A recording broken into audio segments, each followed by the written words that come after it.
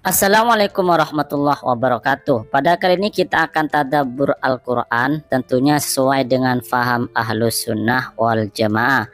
Kenapa kita perlu tadabur Al-Quran? Agar kita tidak terjerumus ke dalam faham wahabi.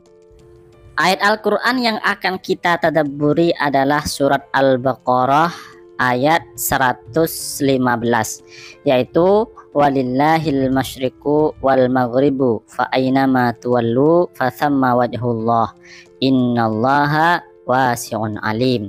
Kita artikan secara perkata terlebih dahulu wa dan lillahi milik Allah atau bagi Allah al masyriku timur wal maghribu dan barat Fa'ainama tuwallu ke mana pun kalian menghadap fasamma maka di sanalah wajhullah wajah Allah.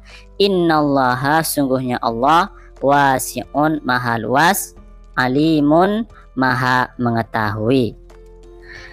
Pengertian walillahil masyriq wal maghrib. Milik Allah adalah arah barat dan timur atau arah timur dan barat. Ini maksudnya adalah bahwa milik Allah adalah jagat raya ini milik Allah adalah dunia ini oleh karenanya ke mana pun kita menghadap maka di sana ada wajah Allah. Nah di sini kalau kita fahami secara dohir maka seakan-akan Allah mengatakan bahwa Allah ada di mana-mana. Ini kalau kita artikan secara dohir ya. Kita artikan secara dohir bahwa wajah Allah ada di mana-mana.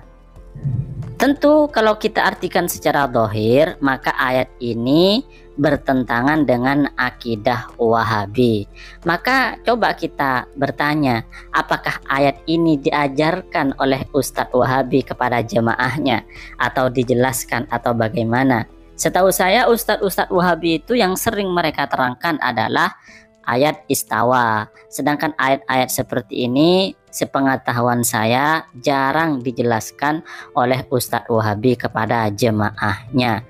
Kalau memakai konsep Wahabi yaitu bahwa ayat diartikan secara dohir, maka ayat ini bertentangan dengan akidah Wahabi. Akan tetapi agar kita tidak tersesat maka ayat tersebut itu tidak bisa kita artikan secara dohir maka kita lihat dalam kitab tafsir-tafsir ulama ahlus sunnah wal jamaah. Misalnya kita lihat dalam kitab tafsir Ibnu Katsir. Beliau Ibnu Katsir itu menulis begini. Waqala ikrimah an ibni Abbas uh, Ikrimah dari Ibnu Abbas berkata, maksud dari fa aina ma tuwallu fasamma wajhullah Qala Ibnu Abbas berkata atau berpendapat kiblatullah ainama tuwjihat syarqan aw. Sahabat Ibnu Abbas berpendapat bahwa yang dimaksud wajhullah, wajah Allah di sini adalah bukan wajah Allah secara zat, tapi yang dimaksud di sini adalah kiblatullah, kiblatnya Allah di mana pun atau ke mana pun kita menghadap ke arah timur atau ke arah barat maka di situ adalah kiblatullah. Di situ adalah kiblat Allah. Ini menurut Ibnu Abbas. Kemudian kita lanjutkan. Waqala mujahid. Kemudian Imam Mujahid mengatakan berpendapat fa'ina ma tuwallu fasamma wajhullah. Qala. Imam Mujahid berpendapat yang dimaksud wajah Allah itu adalah kiblatullah jadi kiblat Allah haitsuma kuntum falakum kiblatun tastakbilunaha al-ka'bah Menurut Imam Mujahid bahwa yang dimaksud dengan wajah Allah itu adalah kiblatullah, kiblat Allah. Di mana pun kalian berada, di mana pun kita berada, kita punya kiblat yang bisa untuk menghadap ke kiblat tersebut, yaitu Ka'bah. Jadi walaupun kita misalnya ada di Indonesia, kita bisa menghadap ke Ka'bah. Walaupun ada di Maroko, ada di Amerika, kita tetap punya kiblat yaitu Ka'bah. Ini menurut Imam Mujahid. Sedangkan menurut Imam Ibnu Abbas, sahabat Ibnu Abbas, ke mana pun kita menghadap, maka di situ adalah kiblat Allah. Maka di sini ulama salaf termasuk sahabat uh, Ibnu Abbas itu mentakwil. Berarti ulama salaf mentakwil. Yang dimaksud wajah Allah di sini bukan zat Allah uh, bukan wajah Allah secara zat, bukan anggota tubuh Allah yang berupa wajah, bukan. Tetapi yang dimaksud wajah Allah di sini adalah kiblat Allah. Baik kita lanjutkan masih dalam kitab yang sama yaitu tafsir Ibnu Katsir. Ini ada pendapat lain tentang uh, fa'inama tuwallu wajhullah. Wa qala Ibnu Jarir, Al-Imam Ibnu Jarir berkata, Al-Imam Ibnu Jarir ini termasuk salah satu ulama salaf. Wa qala akharun, ulama lain berkata, bal anzalallahu hadhil ayah qabala ayyufridat tawajjuh ilal Ka'bah. Allah menurunkan ayat ini sebelum mewajibkan menghadap ke Ka'bah.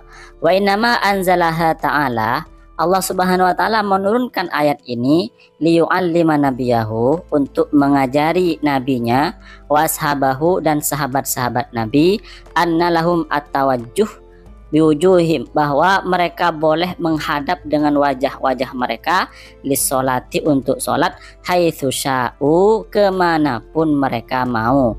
Min nawahil masyrik wal maghrib dari arah timur dan barat. Liannahum la yuwajjihuna wujuhahum wajahan min dzalika wa nahiyatan. Karena mereka tidak menghadapkan wajah-wajah mereka kepada suatu arah. Illa kana ana'uhu fi dzalikal wajhi wa tilkan nahiyah. Kecuali Allah Subhanahu wa taala ada di arah itu. Li'anna lahu ta'ala al-masyariq wal magharib karena milik Allah adalah arah timur dan arah barat. Wa annahu la yakhlu minhu makanun. Dan sesungguhnya setiap tempat itu tidak sepi dari Allah Subhanahu wa taala. Intinya menurut Imam Ibnu Jarir At-Tabari ini bahwa ayat fa'aina ma tuwallu fasama wajhullah itu turun sebelum diwajibkannya umat Islam untuk menghadap kiblat Ka'bah. Menurut Imam Ibnu Jarir At-Tabari, ayat ini mengatakan dan mengajarkan kepada umat Islam bahwa bagi mereka boleh menghadap ke mana saja karena arah itu semuanya milik Allah dan Allah pasti ada di situ ini menurut Imam Ibnu Jarir At-Tabari. Kemudian Imam Ibnu Katsir menambahkan penjelasan Imam Jarir At-Tabari tadi. Hakadha qolah beginilah pendapat Imam Ibnu Jarir At-Tabari. Wa fi qawlihi wa innahu ta'ala la yakhlu minhu makanun. Adapun perkataan Imam Ibnu Jarir yang mengatakan bahwa setiap tempat itu ada Allah in arada ilmahu ta'ala fasoihun.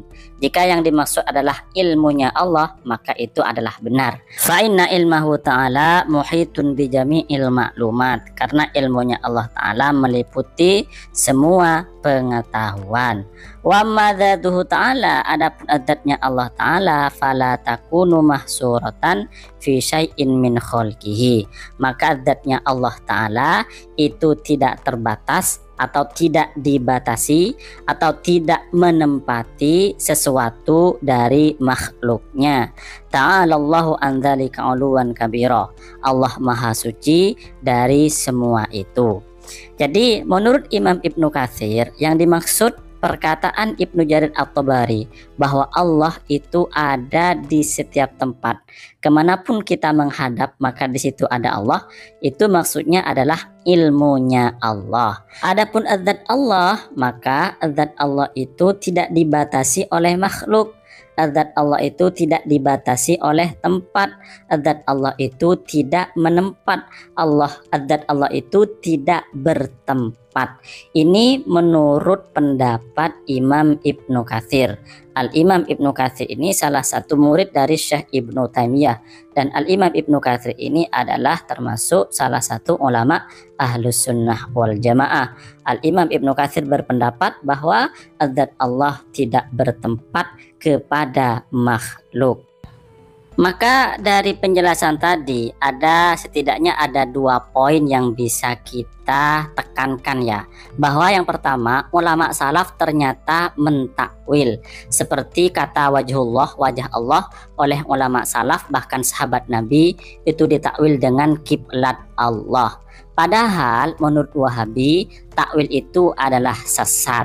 Kalau menurut pendapat Wahabi takwil itu sesat berarti sahabat sesat. Karena sahabat sahabat Nabi mentakwil. Kemudian yang kedua, ternyata ulama ahlus sunnah wal jamaah seperti Al-Imam Ibnu Katsir berpendapat Allah tidak bertempat. Adatnya Allah tidak dibatasi oleh tempat. Sekian terima kasih mudah-mudahan bermanfaat. Wassalamualaikum warahmatullahi wabarakatuh.